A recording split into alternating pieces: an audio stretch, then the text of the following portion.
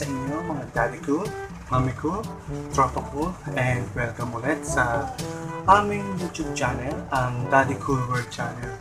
So, as you can see, kasama ko ngayon si Babe mo. Oh, yay! Clap, clap. Clap, clap. Yan. So, para sa ating ah, vlog for today, ah pag-uusapan naman natin ngayon ay ang mga reaction ng mga daddy kapag alam na nilang lalabas si So, tara! Yun. So, para sa unang ah, reaction, and I think ito talaga eh. Ito talaga yung pinaka pinaka pinaka unang reaksyon ng mga dati kapag ah, alam na nilang lalabas na yung kanilang ah, baby na napakatagal nilang hinintay. Siyempre, ang unang-unang magiging reaction nyo is yung pagiging kabad. Kabado ka, siyempre. Hindi mo alam kung ano mangyayari, kung kung lumabas ka, kung, kung ano pa ba, pero sa pagkakaalam ko, sa mga pagpapanganak ngayon, ano eh, ah, sinasama na rin yung mga dati sa pag nagle-labor si mami. Pero sa sitwasyon ko kasi, ah, cesarean si mami ko. So, hindi ginaya ng ano niya eh. Hindi ginaya ng yun na, yung lalabas ka. Sobrang late daw kasi. Kaya ginawa, eh, talagang sinasayang. So, yung sa experience ko, ah, ayun, talagang sobrang kaba. Siyempre, kung ano nang maiisip mo, kung kakayanin ba, lalo na ah, first time mga anak ni Mami Pool. So, yun, hindi ko alam. Siyempre siya, kina, mas, mas lalo na siya, kinakabahan siya. Siyempre, hindi niya maalam yung ano, yung uh, pakiramdam ng ng anak. Actually, nanonood kami ng mga video kung paano mga anak eh, ng labor. Kasi siyempre, mahal magpa-cesarean, kaya lang, wala. Ganun talaga. So, ah hindi hindi kinaya yung normal. So, talagang kabang-kaba kami na hindi namin alam kung anong mangyayari. Siyempre, medyo, lalo na yun, medyo matagal na na hindi lumalabas to. Kaya, yun, ah talagang yung kaba, kaba ko, talagang paikot-ikot lang ako nun. eh. So,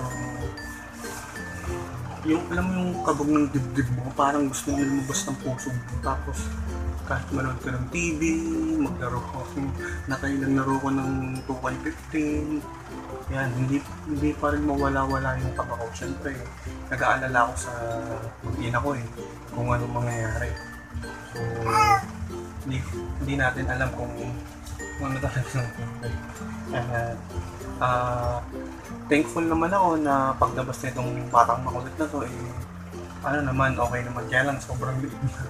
sobrang liit na. Tapos, nakabulat na yung mata niya. So, medyo na ano na daw siya, na overstay, overstay, na overstay daw.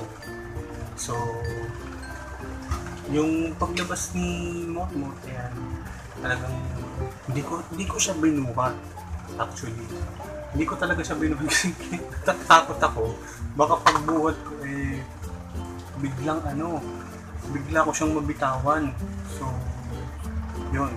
Ah, kaya ang ginawa ko, tinawag ko yung, yung, ano, yung nanay ni Mami ko eh, para siya yung magbuhat. Pero tinignan ko lang siya, pinicturean ko lang siya. Yun, talagang, unang-una talagang maragiging reaction mo kapag lalabas na yung anak mo is yung ano, kakabahan ka talaga eh. Kaya tingnan mo, parang siya chill-chill lang. So, number two na mga reaction kapag alam mong lalabas ka na, lalabas na si Baby Cool ay yung takatulala. Yung tulalang tulala ka lang tapos di, yung blankong-blanko yung isip mo. Ganun yung ano pa eh. Siyempre kinakabahan ka eh. Tapos kung ano na lang pumapasok sa isip ko. Baka huwag naman sana, hindi maging ano, maging successful, tapos ah, kung ano mangyari, yun, biglang mawala yung isa sa kanila, syempre, gusto mo naman, di ba, makasama yung parehas, di ba? Parehas silang makasama mo, kaya, ano yung, tulala ka lang yung parang ganyan ka lang. Mga ilang minuto, nakatulala lang ako, tapos magugulat na lang ako, biglang may papasok na, papasok na, oh, pas, uh, di ba, na, doktor, owners, kinakamusta ako kung ano nangyari sa akin. Ayun, hindi ko alam kung kung paano bang magiging ano ko, kung anong sasagot ko. Yung as in blanco talaga yung isip ko kaya ayun, hindi hindi ko ma-express eh. Yung talaga, di ba yung kung minsan, yung bigla ka na lang napapatang.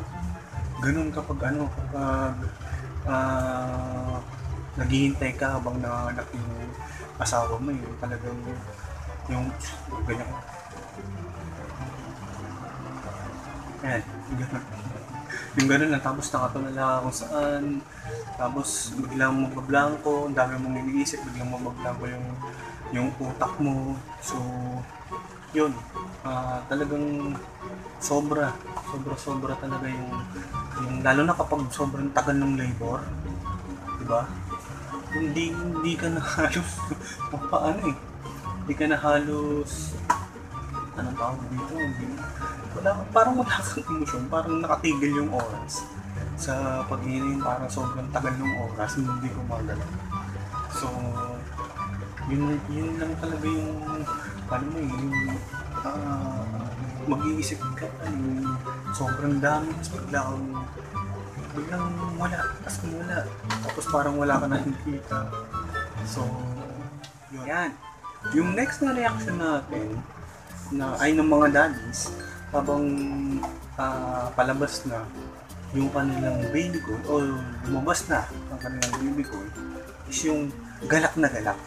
Alam mo yun, yung siyempre, lalo na sa mga sobrang tagal na naghintay na magkaroon ng anak, siyempre, hindi naman lahat eh, nabibigyan ka agad ng pagkakataon na magkaroon ng baby. So, yun, talagang kapag nagkaroon sila ng chance na mabigyan ng isa, eh, talagang todo alaga yung mga yan to the point na halos binibaby na pati si mami ko. Siyempre, eh, mahirap talaga pag ano, pag naging magkaasawa kayo tapos wala kayong anak. Although, siyempre, kaya naman pero iba pa rin talaga yung may anak. So, yun, kapag yung yung alam mo yung feeling, kahit hindi yung ano eh, kahit hindi yung matagal ka naghintay, kahit yung first time mo lang, yung alam mong parating na, yung magiging bagong inspiration mo. Nakahiga na sila. Mag- darating na yung bagong inspirasyon mo. Ah, ayun, talagang sobrang galak mo, talagang yung dibdib mo, bukod sa kaba, may halong, ayan, excitement, ano bang itsura ng baby, kung sinong kamukha, ayan, minsan may postahan pag nangyayari yan eh. Talagang, ah, yung talagang overwhelmed ka na at last for ah, nine months, eh, may kita mo na ang iyong angel. Tapos, makikita mo yung mukha niya na kamukha ng asawa mo. Yung dilaw. Yung dilaw. Pag walang nakuha sa'yo yung carbon copy ng asawa mo, eh, baka ugali yan. Kapag kamukha ng asawa mo yung yung baby mo, iano mo na lang na yung ugali na kuha niya sa'yo. So, pag-pray mo na lang lahat ng traits na magaganda, eh, mapunta sa'yo. But yung mukha, hindi na. So, yun, yung, ano, yung reaction na lahat naman siguro eh, hindi ko lang, hindi ko lang sure. Siguro sa mga hindi tanggap, hindi sila magagal. Yung mga biglang nabuntis na lang, yan, yung mga mga paano, easy go lucky, ah, ayaw pa talaga mag-anak, tapos gawa naman ng gawa. Hello? Hello? Hello? Ito lang yung masasabi ko sa inyo. Hindi yan mabubuo kung di nyo gagawin. Okay? Kahit mag-contraceptives pa kayo, hindi yan mabubuo. Diba? Ay, mabubuo at mabubuo yan. Kung lokohin yung mga sarili nyo.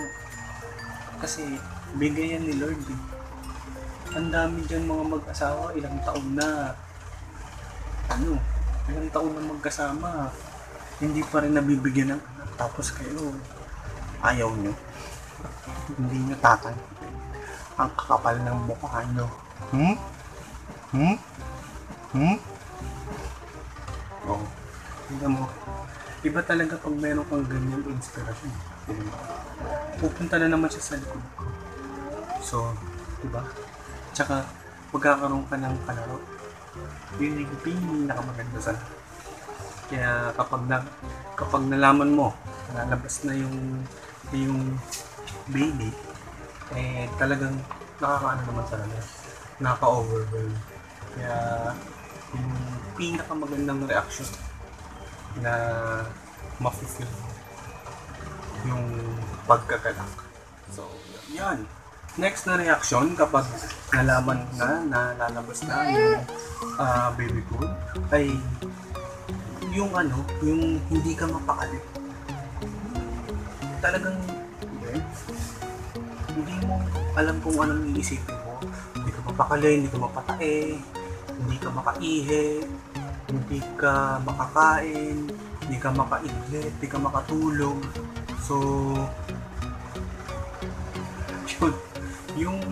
pakiramdam mo eh, nakatigil yung oras sa sa'yo.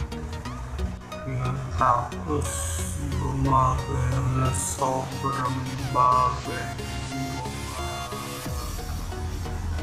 yung mga yung mga bagay kung ano na ano mo, na-imagine mo ako yun, ano bang ano ko hindi, hindi rin ako mapakalim eh. Gulong lang ako ng gulong sa kama ko kasi yung nanganak si mami ko ah dinaretso na ako sa kwarto. So para doon na lang ako hihintayin so ah nangano naman ang eh kaya lang may TV kaya lang talaga hindi wala talaga. Hindi ka talaga maano ano ang gagawin mo para lang libang mo sarili mo. Tapos ang tagal. Mga simula alas 9 kami dumating ng ospital. Ayun. alas 9 kami dumating ng ospital. Tapos lumabas lumabas si Motmot ng 4.30 so talagang haba talaga hindi nga ako nakapag-lunch nun. Talagang sobrang ano sobrang ano, dami. Tumatakot sa isip mo na nakakalimutan mo na kumain. Tapos tapos uh, na napapansin mo ako yung oras kung anong oras na ba. So talagang ano hindi, hindi ka wala uh, as in parang naka ano lang yung ano mo yung sarili mo na na ano ba nangyayari ano ba nangyayari sobrang sobrang tagal naman lumabas ito bakit ganito? So hindi, hindi ka talaga mapakali yan talaga yung pinaka pinaka yun yung pinaka bukod sa bukod sa pagre-report ko dati hindi ako mapakali kung ano kung may report ko ba kasi nag kami dati na ano na talagang anong mag ano siyang mag pa-report ito talagang uulit ka next week. Talagang paghahandaan niya at simula nung ano siya talagang pinaghahandaan siya kapag magpapareport ka so after nun ito lang talaga. Yung pinaka pinaka na hindi ako mapakali. Kasi sobrang ano eh, syempre first time first time dad na hindi mo alam kung kung ano gagawin yan Siyempre, kahit na mga ah, nagbasa-basa ako ah, iba pa rin kapag nag-actual na tayo. So, oy. So, yun.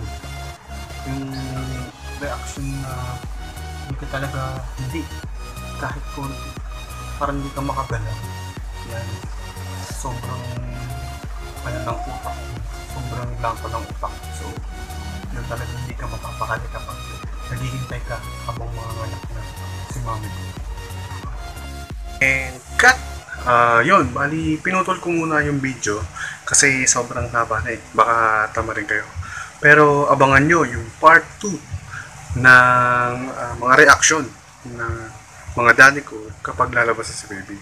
So, please watch and subscribe to my channel. Ah, see you!